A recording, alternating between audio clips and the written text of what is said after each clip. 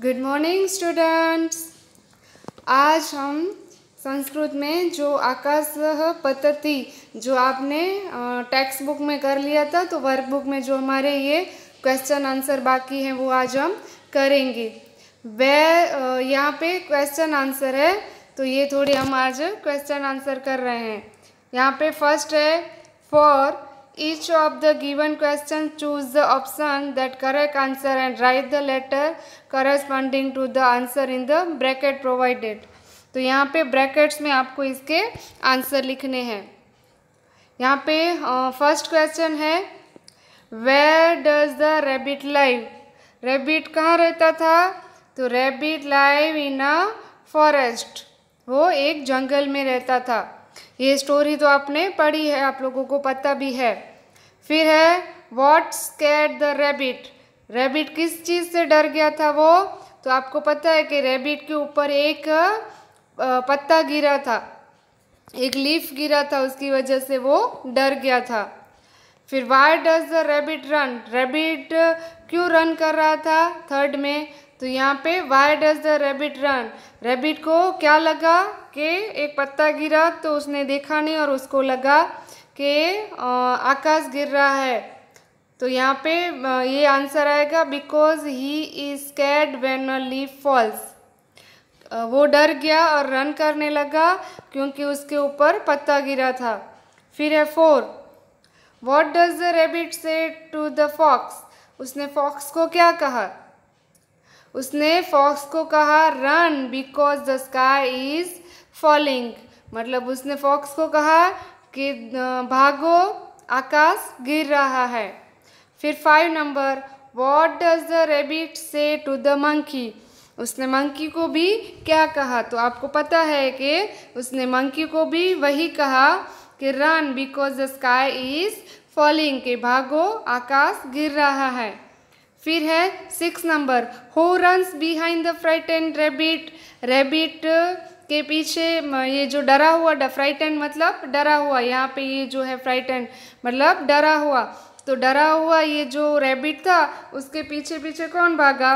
तो आपको पता है कि उसके, उसने फॉक्स और मंकी से बात की थी तो उसके पीछे फॉक्स और मंकी भाग रहे थे. तो यहाँ पे आएगा बी आंसर फिर है ससकह कुत्र निवस्ती। ससकह, वो मतलब यहाँ पे ये जो फ़र्स्ट है where does the rabbit live वही है, लेकिन ये है संस्कृत में है। तो यहाँ पे है ससकह कुत्र निवस्ती। वो कहाँ रहता था?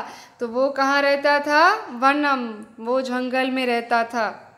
कह धावती, कौन दौड़ रहा था? तो वहाँ पे क्या आंसर आएगा? ससकह धावती। फिर वृक्षात किम पतती?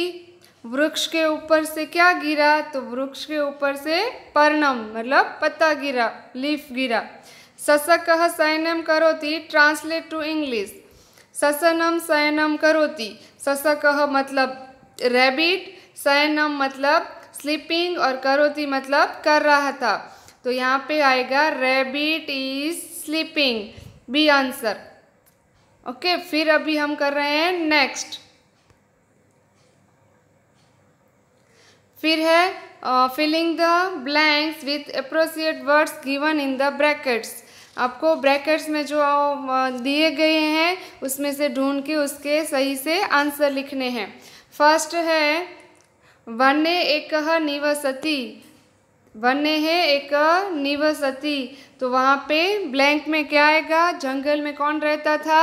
तो वहाँ पे आएगा ससकह फिर ससकह ब्लैंक भवती। ससकह क्या था वो?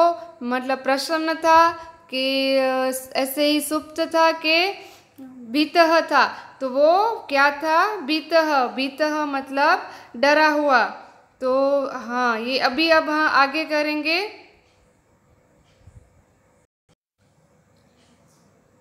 अब है थ्री नंबर की। श्रुगाल। यहाँ पे आपको पता है कि सेकंड में हमने किया बित फिर थर्ड है श्रुगाल, फिर वहाँ पे क्या आएगा? आगच्छति, श्रुगाल आ रहा था। फिर ससक फोर नंबर की ससक न वदती तो वहाँ पे आएगा किमपी।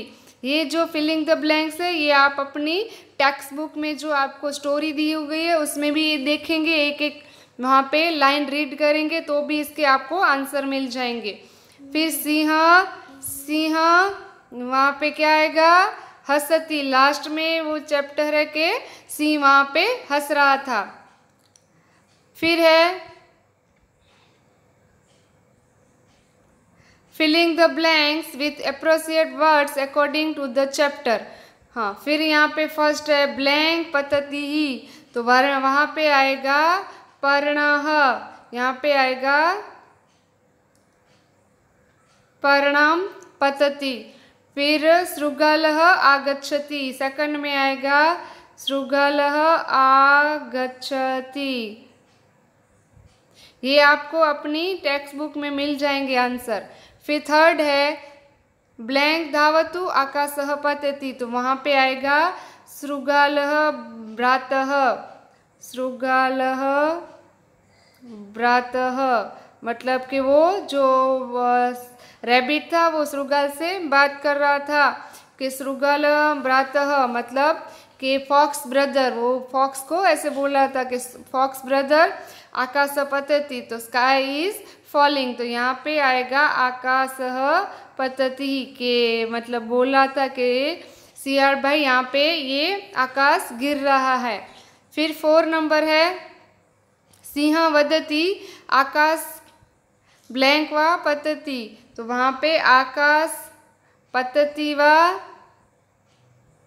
आकाश पद्धति व कुत्र पद्धति मतलब आकाश गिर रहा है तो आकाश कहाँ गिर रहा है? ऐसे सी बोल रहा था। फिर ससक लास्ट वाली, ससक वृक्ष समीपम आगछति यहाँ पे आएगा आगछति ये आप गुड हैंड राइटिंग में इसमें लिखेंगे। फिर है match the column A and B correctly to make complete sentence यहाँ पे आपको कंप्लेंट सेंटेंस यहाँ पे मैं मैच करवा रही हूँ। ये आपको यहाँ पे इस लाइनों में इसको लिखना है। फ़र्स्ट है ससक क्या है? ससक सयन करोति। फिर है, वानर भ्रात। वानर भ्रात क्या है? यहाँ पे आएगा, धावतु। फिर कुत्र पतति, आकाश। लायन उनको पूछ रहा था कि आकाश कहाँ गिर रहा है? और लास्ट वाला है, श्रृगाल अनुधावती तो ये आप अपनी नोटबुक में यहाँ पे अच्छे से लिखेंगे। फिर आगे है answer each of the following sentence in one sentence in English यहाँ पे आपको इंग्लिश में आंसर लिखने हैं। फ़र्स्ट है where did the rabbit live तो यहाँ पे आएगा The rabbit lived in a forest first में आएगा इन अ फॉरेस्ट वो कहाँ रहता था? जंगल में। ये हुआ फिर second why does the rabbit get scared rabbit को क्यों डर गया था? तो the rabbit get scared because यहाँ तक आप क्वेश्चन में ही लिखेंगे, फिर अ लीफ इज़ फॉलिंग वहाँ पे क्या गिरा था? पत्ता गिरा था, उसकी वजह से वो डर गया था. लीफ इज़ फॉलिंग फिर है what does the rabbit say to the fox rabbit ने फॉक्स से क्या कहा? तो यहाँ पे आएगा कि the rabbit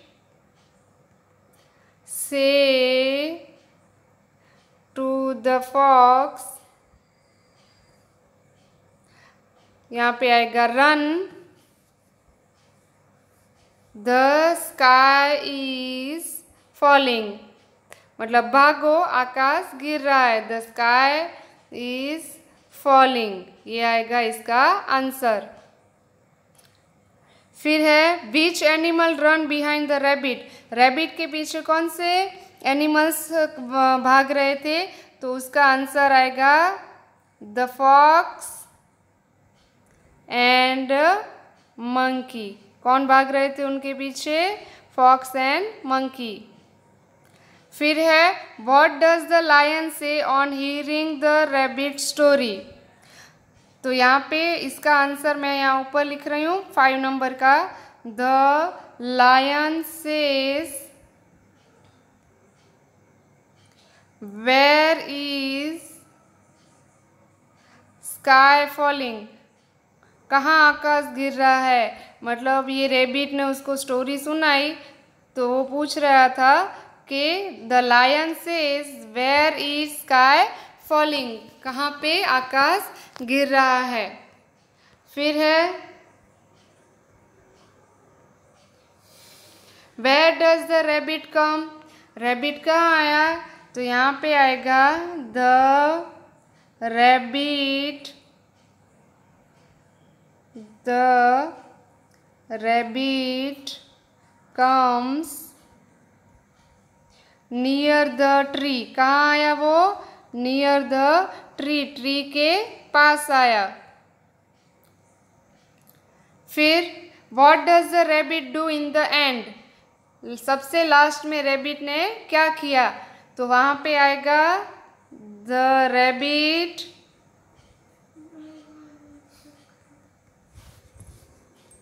go away